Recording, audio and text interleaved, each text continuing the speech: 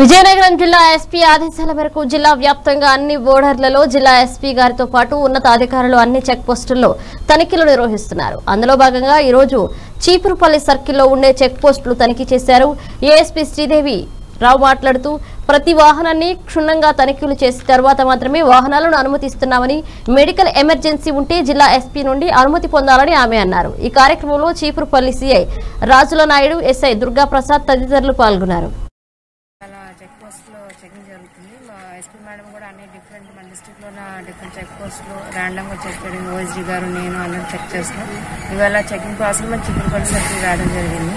Already Laveru దగ్గర మనకి శ్రీకాకుళం విజయనగరం బార్డర్లో ఉన్న మంచి గూగుల్ సంబంధించి లావేరు బార్డర్ ఒకటి ఉంది. అది ఆల్రెడీ అక్కడ చెక్ చేసి రావడం జరిగింది. ఇప్పుడు రాజం బార్డర్తో మనకి ఒక ఇంకో చెక్ పోస్ట్ ఉంది. చెక్ పోస్ట్లో మన పోలీస్ సిబ్బంది కాకుండా రెవెన్యూ సైడ్ నుంచి విఆర్ఓ కానీ లేదా ఎక్సైజ్ శాఖ నుంచి సిబ్బంది ఇంకా స్ట్రెంగ్ చేయడం జరిగింది.